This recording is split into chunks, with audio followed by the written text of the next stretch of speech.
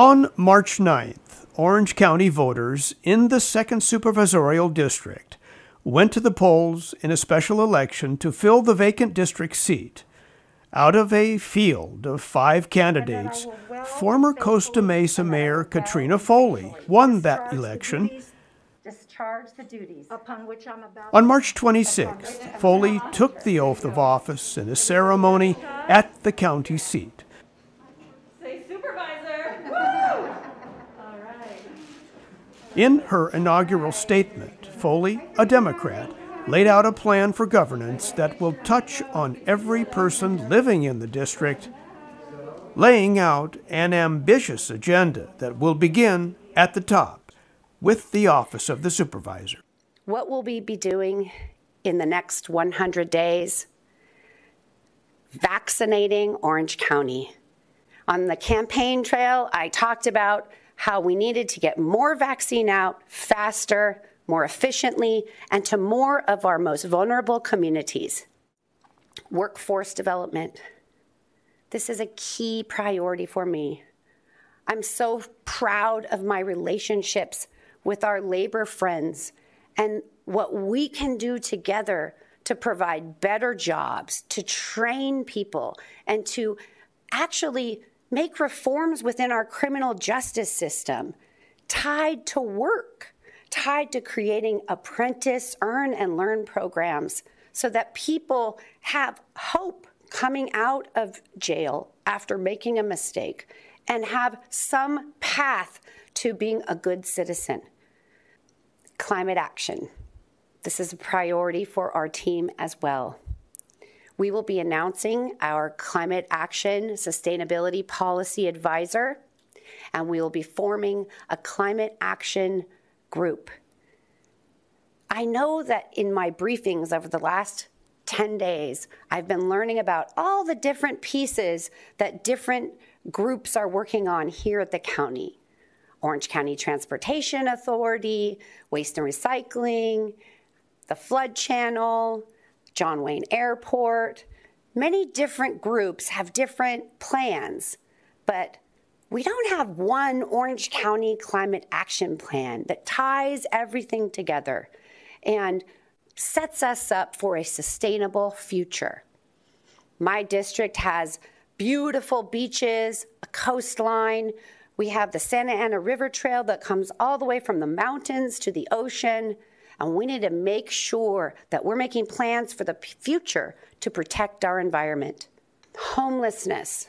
Many of you heard me talk about preventing homelessness and what more we could do um, on the campaign trail.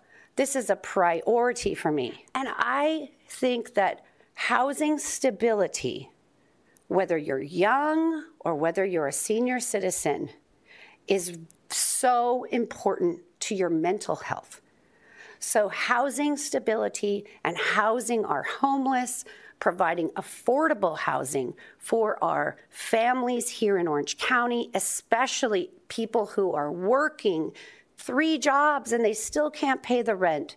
We can do better in Orange County, and I will have a team putting together recommendations and priorities, and you'll be hearing about that within the next month. One key priority for me is also going to be veterans services. You know, my brother is retired from the military. He served our country for 22 years in the Army.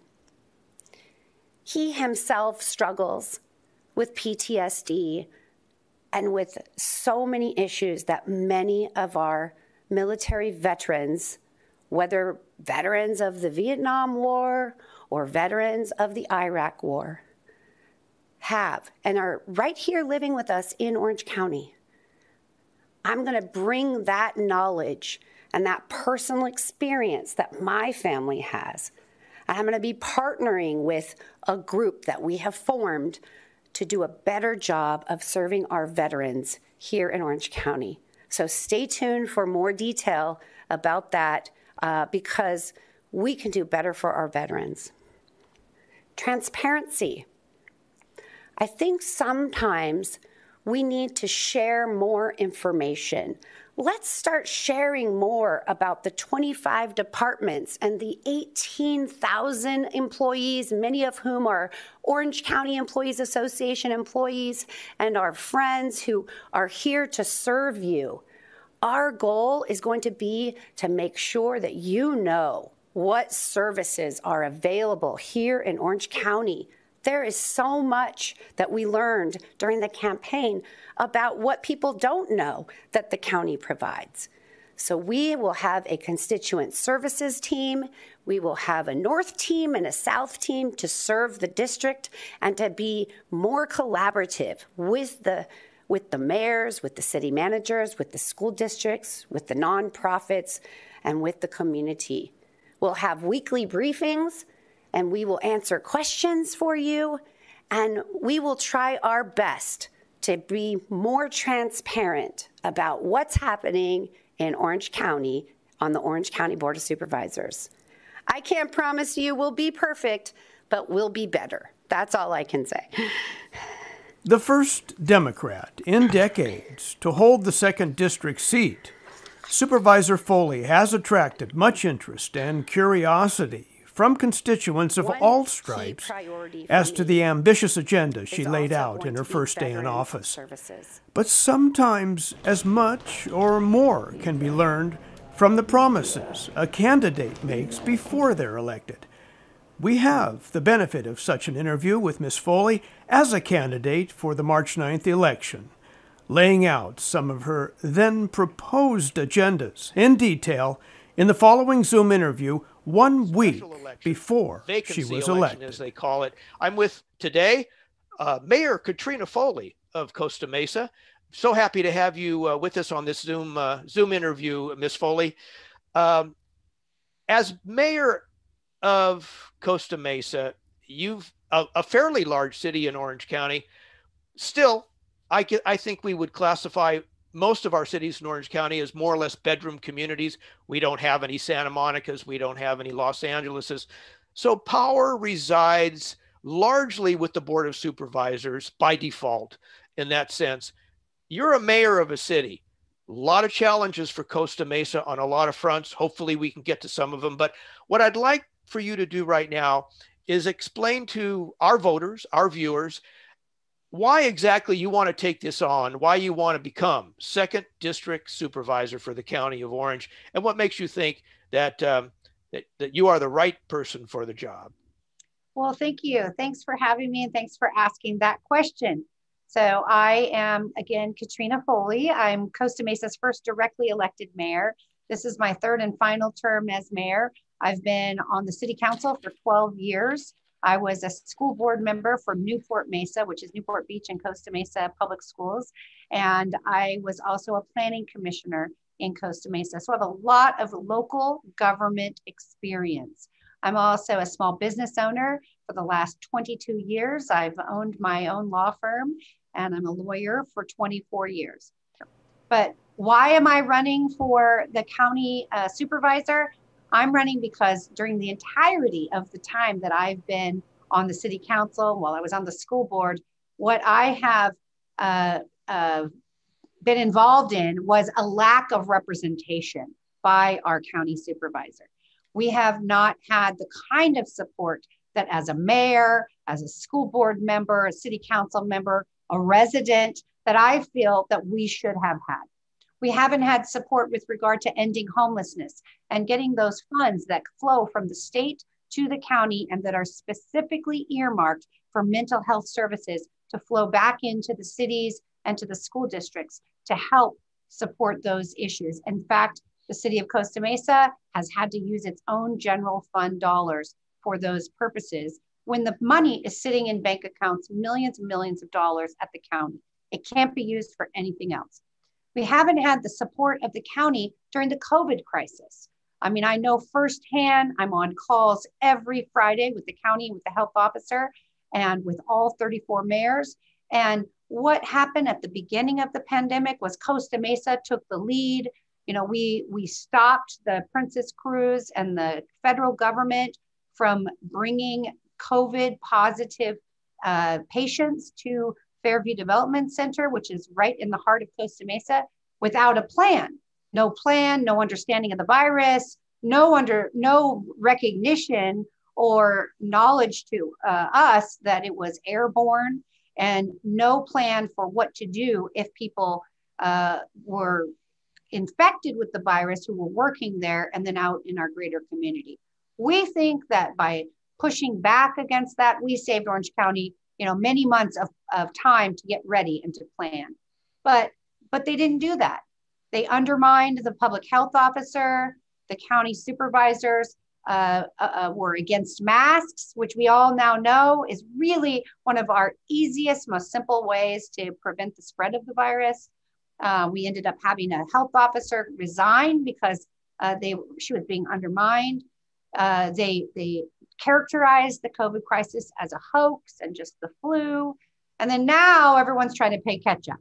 And now that the virus has spread, and you heard Dr. Chau today on the press conference say it's throughout the whole community, and so they're not even trying to isolate or uh, advise as to where there might be outbreaks because it's spread throughout the whole county of Orange. And it didn't have to go that way. We also, as mayors, continue to try to get help with regard to funding and the CARES Act and, and how could we get help with helping support our small businesses and our tenants with rent relief. And it really took a lot of work to get that support that support should flow freely. The county supervisor representing District 2 should just be there asking what the funding and legislative priorities of the each of the cities are and then help support them. That's their role. And certainly the county's job is to keep us all healthy and safe. So those are some of the top reasons that I am running for supervisor because I think I can do better and Orange County deserves better. So it sounds like what you're what you're characterizing is a is a crisis of of essentially leadership at the uh, on the dais uh, right. among the supervisors uh, themselves, um, each involved in their own uh, sort of uh, uh, power turf that that keeps them involved, you know, for their own districts. But but there but the leadership factor at the county level, I think, is what you're saying is lacking. Yeah, and I think that the failure to collaborate, the failure to uh, provide pragmatic representation, always politicizing everything, every last issue. In fact, just today, I have a city council meeting tonight. It starts at four o'clock. And we've asked over and over can the health officer, who is our city health officer, the way it works in Orange County, all the 34 cities have the county health officer as their health officer. We ask, can he come speak to our city council, answer questions about the vaccine, answer questions about concern about the variants that are happening, answer questions about uh, what are next steps in terms of reopenings and sports and schools. I mean, our council members have a lot of questions. And uh, I get to participate on these calls, but I only get, you know, a very brief amount of time to ask my question with all the 34 mayors. And time and time again, uh, it's politicized. And our chairman now is refusing to allow the health officer to come to Costa Mesa and answer questions. Hmm. That's outrageous. This is immoral, in my opinion. Right. Uh, early on, in fact, uh, some of those, uh, some of the early outbreaks were, of course, the first outbreak was in Irvine. We know that, that's documented. Uh, Newport Beach had early outbreaks. Both of those cities went to the county, went to the CEO of the county, and asked that they that those outbreaks be kept quiet, uh, bec- because it would create a quote stigma uh, uh against those very well heeled uh, and, and, politically connected cities. And so for a long time, the public was kept in the dark. But I want to ask you a question. That's a pattern. That's a pattern that the county has that we need to shine some light on. They've kept all of us in the dark over the last year with secret contracts. You know, the outbreaks uh, have been secret as well, but school outbreaks, colleges that have had outbreaks, sports teams, uh, contracts for millions and millions and millions of dollars that are just being signed and approved without any public input. So, yes, that's a pattern that must change. So, let me put this in the form of a question to you. As a supervisor, put on your supervisor hat for just a moment. And how would you view the rollout of on campus learning in the second district, where there are a number of school districts that have opened and several that have not yet and are fearful of doing so? Where do you come? Where do you fall in, in, in that spectrum? So, so just to clarify, that's just my personal opinion because the board has no jurisdiction over the school openings. So the board does not get to decide whether schools are open or not. The board doesn't get to direct the county health official as to whether schools open or not. Uh, in fact, that's being done at both the state level and at the individual district level. So actually, there's only one school district in uh, Costa Mesa. It's Newport Mesa Unified School District, Oh, and uh, they've been open in kind of a hybrid. Elementary school has been going on for quite a while. Uh, high school just went back a couple weeks ago, and as I was saying today, uh, the the sport team started uh, yesterday. So uh, there's school districts uh, across Orange County that are opening or not opening, depending on the spread of the virus in their community. And I think that's key. I think each school district is different because if you live in Anaheim and you're in the area in Anaheim where there is a hot spot and there's a large spread of the virus, it's going to be tough to open high school because you could cause it to spread even further, right?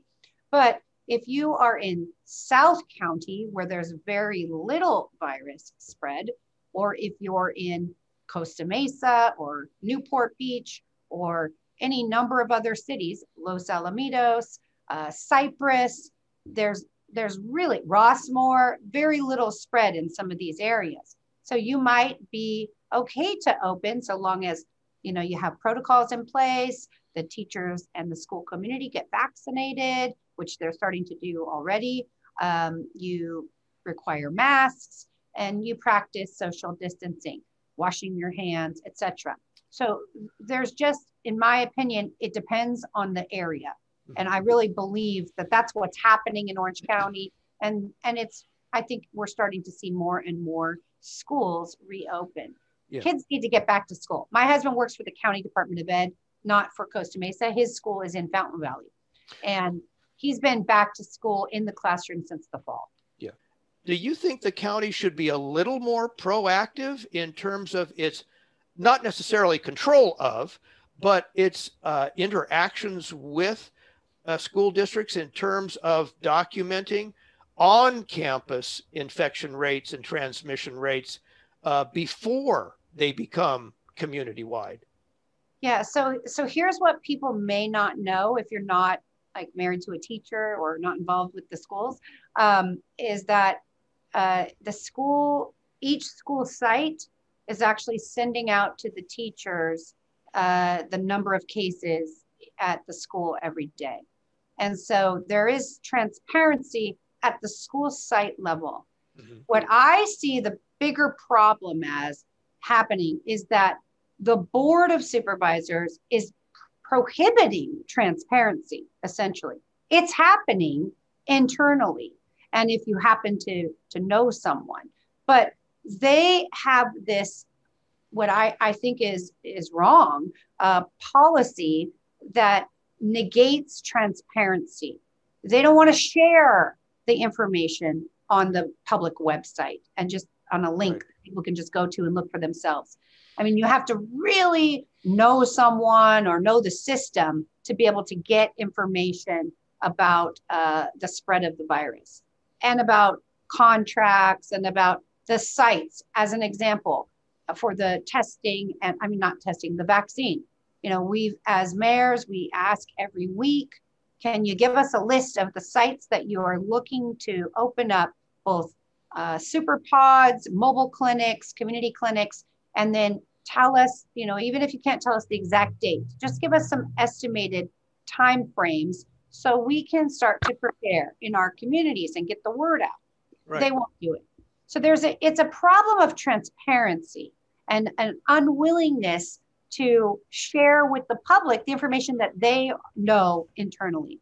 that's a problem for me that I just don't even know why. I, I can't understand it. I don't understand what the motivation is uh, for keeping everything so secret. Right. I've often wondered that myself. but there is another topic I'd like to move to because uh, it's going to affect every every community in the county and the county itself. You're going to have to deal with it if you're elected on March 9th. In the state of California, we have something called a housing assessment a cycle. We are in the sixth cycle of that housing assessment right now. And that means that uh, it's sort of gong time for the cities to respond uh, individually to the state of California's mandates for increased housing, especially low and moderately low income housing in all uh, municipalities and regional uh, zones of, of the state of California. It affects every city, all 400 and some cities, and uh, all 58 counties. Certainly in Orange County, a number of cities, I believe 15 of them, have already responded with appeals.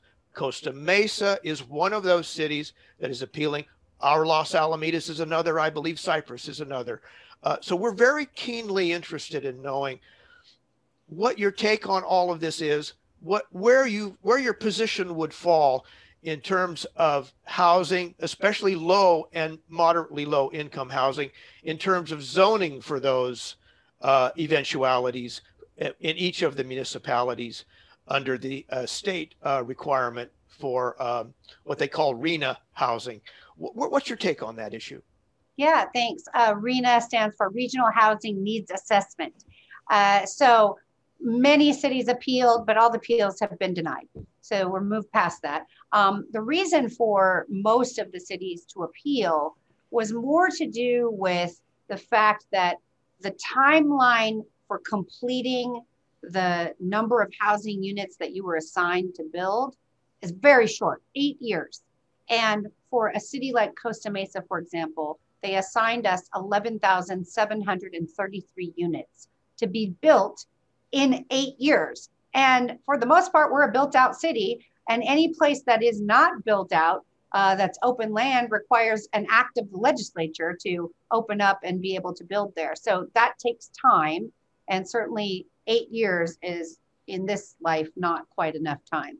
So we were concerned that if we didn't get all those units built within the eight years, that we're going to get some kind of large penalty from the state because they don't even give you credit for you know progress towards or good faith effort so that's why we appealed um, and we also appealed because there was some uh, concern that maybe some of the allocation was double there was like a double counting of some sort uh, that gave us double the number of units that we were supposed to build but that's been all uh, refuted. And so so we are engaging, like many cities in Orange County, in our housing element process in an attempt to try to meet the, the compliance of the housing units that have been assigned.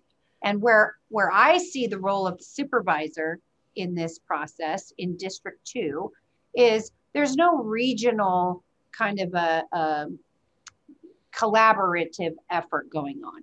So you've got cities that are next to each other and they're working isolated on their housing elements. They're not talking to each other about, oh, maybe we put it all on a corridor here and it doesn't impact traditional single family residential neighborhoods.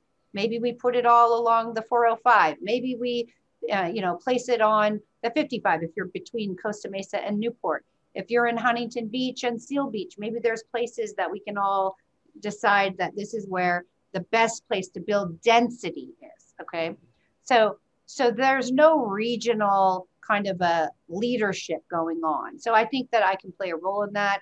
I've been in local office, planning commissioner, city council member, dealing with housing issues for many, many years. I understand it quite well.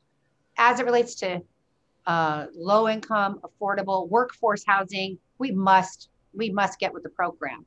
We can no longer uh, depend that people can live in Corona and drive in for a $15 an hour job at a restaurant. I mean, it's just, you can't afford it.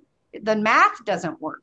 and so we need to build workforce housing and it needs to be quality housing. And I also think if we build near job centers, then you reduce traffic, you reduce trip counts, you won't have what I think many residents are concerned about, which is uh, extra traffic in the neighborhood, and you'll be able to uh, address the, the housing units. But it's going to be tough. A lot of good, a lot of hard conversations, um, and uh, it'll take a, a lot of planning to get it done. And again, probably a little leadership. Yeah. uh, would, would you consider partnering with cities as, as a county representative now, partnering with cities and maybe even doing a little parlaying for some of that county property uh, that's out there um, and and negotiating with cities to perhaps share uh, utilization of that property for, for density housing. Is that a possibility? W- would you consider that as a supervisor? Yeah, like I said earlier, I really do think there's a role to be played as the county supervisor to help to formulate a regional plan where cities aren't just on an island taking care of their own housing unit needs but they're thinking about what how does that impact my next door neighbor? And how does it Im- benefit my next door neighbor? So i do think there's a role to play to help everybody you know come to the table and start to look at it as an orange county plan an orange county housing plan. Now do i think that's easy? Absolutely not. It's super challenging and i I, I'm sure there's a reason why no one's thought of it, and that is because it's too hard. but you know that never stopped me before, and I um, often try to think outside the box because I, I do think that it's important for us to collaborate and and utilize county unincorporated land, utilize um, each other, and in terms of trying to plan for the future. You know, it's all part of also a climate action plan. Housing and transportation are inextricably intertwined in terms of addressing climate action. And so we must think of it kind of more broadly in that in that scope as well. Yeah, let's talk about a regional plan, uh, and again, talking about housing, uh, we, we we come upon the subject of the homeless issue in Orange County. Certainly, Certainly a, regional a regional, plan, plan is, is required. Regional, regional collaborations, with local, uh, uh authorities I, I, think, what we've landed, on, in Orange County, County is a kind of a, uh, uh, maybe, maybe, by default, maybe, by plan, a shelter first philosophy toward the homeless. I think that's where we have, as a county, decided they belong. Uh, that's where we have invested uh, finances of the county, such as they are, uh, into the homeless issue, is in creating a shelter environment to what, to what extent, extent, do you support that, that uh, uh philosophy, a shelter first philosophy, as opposed to, let's say, a housing first philosophy? Where do you, Where do you come, down in, in, in the spectrum uh, uh of that uh, uh argument?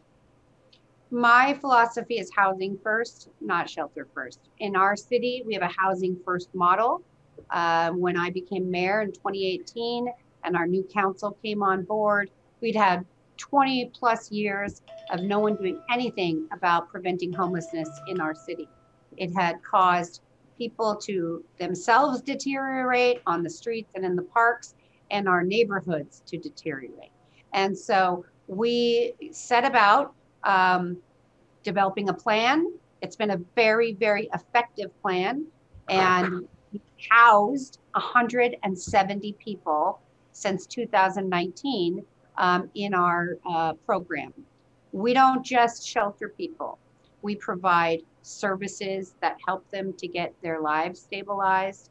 We, if they're living on the streets, we have caseworkers and social workers that go out onto the streets and have a housing first uh, approach, trying to get them into recuperative care. These are, These are city employees? Yes, yes. Social workers. We also work with nonprofits in the community, and we have we you know we're fortunate we have a, a lovely faith-based community in costa mesa that's very diverse yeah. that they have created a task force and they provide a lot of extra hands and eyes and listening for us in terms of addressing homelessness in our city it's a model that's effective and it is taking people off the streets and into housing and And one key piece of it, and this is also why I'm running for supervisor, is that mental health service funding that goes from the state to the county that can't be used for anything else but mental health services. We cannot get the county to give us any of that funding to support programs like this, to support the social worker that we hire, that her only job is to monitor people for a period of time while they're in the new housing so that it sticks, as, as they say, so that they stay, they get stabilized, and then they become independent. And that is a mental health issue in many, many respects. Many reasons why people fall out of housing right, right when they get in is because they're not mentally well at the time. And whether they were mentally ill before they were on the streets, living on the streets, having your body degrade, having your mental health degrade, you you have mental health issues if you've been on the streets for too long or in the parks, etc. So that funding can be used for cities, and that is a priority for me. I know we've finally got Newport Beach to adopt our model. So Newport Beach is now adopting the Costa Mesa model, the housing first model, utilizing caseworkers and social workers out on the streets, um, trying to place people. And then for those individuals temporarily to stay in the shelter while they're getting uh, assessed so that they can get placed into permanent supportive housing. That's the successful model. It's a less expensive model, it's an efficient model, and it's a model that is compassionate and humane. And that's what I'll be supporting as a, a supervisor. Does does, does the, the uh, refurbishing and reconstituting of the Musick Jail Detention Center uh, uh fit into your support of housing first? You know, that's an issue that has come up, and I've been trying to do a deep dive barely because, you know, we learned about this election very late. It's been a very compacted election period. Normally, you'd have a year to learn about all the different issues in the county and, and take a position on them. So I'm still learning about that issue and learning about where it is in the process. But I will tell you that, in my opinion, jail is not the solution to ending homelessness. And you, and you think, think, that this model that you have in Costa Mesa would be applicable, would be would, would be expandable to a, a countywide uh, template? We've already got Newport to agree, you know, and Huntington Beach. We've been working collaboratively with them a lot. I think that they're moving in that direction. I work really closely with Mayor Carr and Councilmember Delgleize. Um, they're very uh, supportive of this type of approach. Uh, I know that in talking with uh, residents as well as Mayor Shawver in Stanton, that Stanton has had a lot of struggles with people mm-hmm. living on the streets and homelessness. And it doesn't seem to be whatever the county's doing, it doesn't seem to be working. Um, and so I do think the model is uh, a quality model that's based on compassion, care, but also, you know, people want to have a quality community as well. So I think we're able to accomplish all of those things. And you think it's expandable countywide, the model? Yeah. And okay. I think less expensive than what uh, what we're doing now. Oh yeah, it's less expensive. Than law enforcement involvement, yes, every day of the week.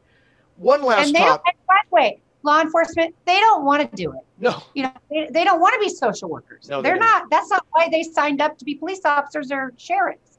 They don't want to do that work. And so the more we can get a more holistic approach going, I think it's better for everyone. Okay.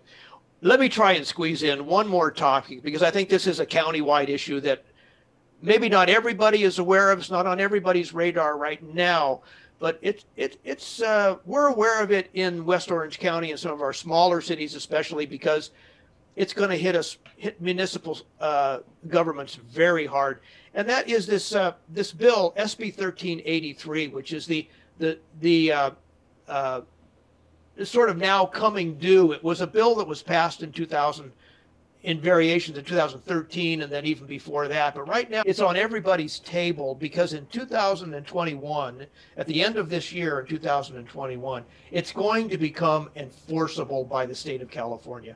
And what this bill does is it's going to require every single municipality, every single property owner who has curbside waste management service to begin to alter their approach to dividing up their waste. We, we don't really have an organic waste disposal barrel yet. We have a recycle barrel. We have a, um, you know, a green barrel typically. It Depends on the city. It depends on your city. We do in Yeah. Costa Mesa. Oh, you do. You so Yeah. you have four barrels now. No, it's weird. We have two barrels and an organics waste. And then in Irvine, they also have three barrels and an organic waste barrel. Yeah. So, So, so it depends on the city. yeah. So this is rather ominous for especially small cities, of which we have a number in the second district. You're going to have to deal with it. Uh, and these folks are very adamant that the, this, again, unfunded mandate by the state of California is going to cost municipalities dearly. That because the state is going to require municipalities to officially monitor and report to the state of California what you know whether people are complying, whether commercial properties, even residential properties are complying with the state mandate for this separation of organic material now um, from other materials uh, for for uh, re- redis- redistribution, reuse of some kind. Although the state doesn't, it's not very very specific on what that reuse is as yet.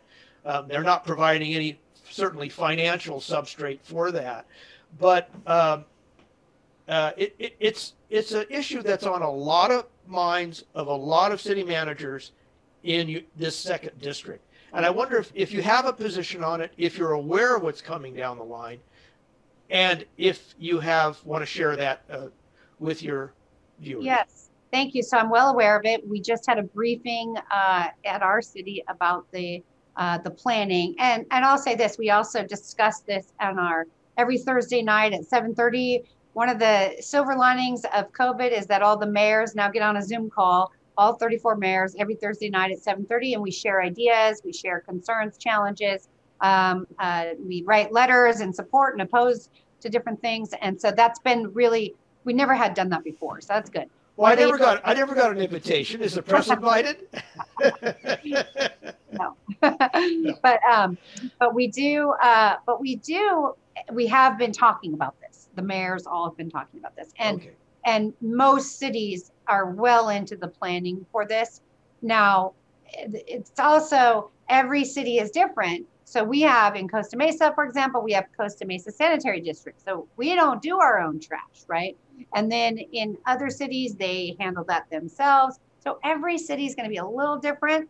Uh, but uh, one of the projects that I would like to see uh, move forward, and it'll be a priority for me as the supervisor, is Waste Not OC. So Waste Not OC was something that started a couple years ago. The county uh, gave a grant to this organization so that they could collect the food waste from di- various different restaurants, repurpose that food that wasn't perishable and that could be sent out to shelters and and different food banks, etc., and then use the rest of the food waste for you know repurposing it for fuel purposes, etc. So they lost their grant a couple years ago, and so they haven't been able to continue that service in the community. Now with this requirement, I see us moving in the direction of expanding Waste Not OC. Costa Mesa was the first city to participate in Waste Not OC. It expanded to a variety of other cities, but we need to expand it county-wide. So that will be a priority. How do we do that? How can we have the benefit of that program that's a county-wide program for the cities so that they can benefit from that work as well? And that can be part of their plan to comply with this uh, this new bill. We have to comply. There's no there's no out. And it's also, you know, it's gonna be better for the planet in the long run. It's just hard to get it going. It's gonna be it'll be the top you know, it's like a learning curve. It's gonna be a little bit of a struggle at the beginning, a little bit more costly than people want to spend at the beginning, but it'll, I think, uh, manage itself out. And in the long run, we'll all be better for it. Well, we're we're running out of natural landfill, uh, and that that's the uh, that's that's the sort of backstory on you know why this is all happening. We're we're running out of places to bury trash, Right. uh, and uh, uh, but I, I'm wondering if you could just take the last minute or two to flush out a bit of how the county would interact in this process. What what role do you see the county playing uh, among all of the 34 cities uh, uh, attempting at various levels to scramble and respond to this uh, uh act? As sit here today, all I can confidently tell you, because I don't like to talk about things I don't know, but all I can confidently tell you is this Waste Not OC program, the county can fund that, and that can be a countywide program. I see. sit today, that's what I can tell you. Uh, but also, the county has its own requirements, just like any city, Right. and so they'll be having to do their own um, compliance. Uh, I don't know, as we sit here today, what other role the county can play to serve and help the resident. I mean, the the cities, but that is something that I'll find out. And I think what the county supervisor must do, that has not been happening, is a better job of serving the cities in their district. The county supervisor is supposed to be meeting with the cities, understanding their priorities, their challenges, their funding needs, and working collaboratively with them to support the cities. That is the role of the county supervisor. It has not happened in the entirety of the time I've been on the city council. Uh, even before when I wasn't mayor, it didn't happen. So um, that has to change. And I will make sure that we are more collaborative. Okay, well, uh, candidate Katrina Foley, we will find. Well, it's Supervisor Foley. As of today, That's right. I, I, I take it. Um, you were sworn in this morning. You are now our second district supervisor for our town of Los Alamitos and our broadcast area, Seal Beach, Cypress, Stanton, and areas of West Orange County. We're very excited to have you on board. Well, I can't wait to serve. Uh, Yes, and uh, you've made some very um, frank statements in your in your candidate uh, uh, question and answer that we've done with you uh, before you were elected, and now that you are elected, that we're all going to hold them to you. Hold you to Oh, them. I hope you do, because if, uh, if you do, that means I'll be successful in the position. okay, just a word, just an update on a couple of things that you said previously. You talked about, and here today again, you talk about unifying, a, a really message of unity across the county. And, uh, and you also talked about something a little more provocative, and that was uh, an, uh, your statement that the county was, uh, um I think the word you used was in a position of negative transparency. I think negative transparency is the word you used. That's going, the, the idea of secrecy within government in Orange County is on a lot of folks' minds these days with regards to the COVID issue, the healthcare response, uh, the homeless issue, uh, and many more issues as well. How are you going to, oh, what shall we say, crack that nut? How are you going to open the county of Orange to a more transparent uh, type of arrangement? Uh, all of your 25, as you said today, districts or, or agencies, Departments, yeah. departments, how are you going to open them up and open the county up so that there is more transparency in Orange County? Well, I think the first thing we're going to do is we're going to have regular weekly briefings with the media where, where we will be giving both information about different departments and what they're working on, as well as updates on the status of our priorities and our initiatives. That right there is something no one has ever done. So that will be a, a way for us to get more information out, be more transparent about what we're doing, and answer questions. You know, I, I don't have all the answers. I learn every day something I didn't know yesterday, and I am just hopeful that we can pull people together and find some way to get some basic facts, basic factual assumptions about some of these critical issues that plague our community. Issues such as homelessness, housing, the airport and the pollution and the noise coming out of the airport, issues such as criminal justice. And I can't wait to partner with our sheriff and our, and our other law enforcement entities, as well as our nonprofits and our labor family, to bring initiatives forward collaboratively. That's the key. Okay, we look forward to seeing you uh, on the streets Thank you. at our end of the county. Take care. Looking forward to meeting you all. Supervisor Foley. Thank you.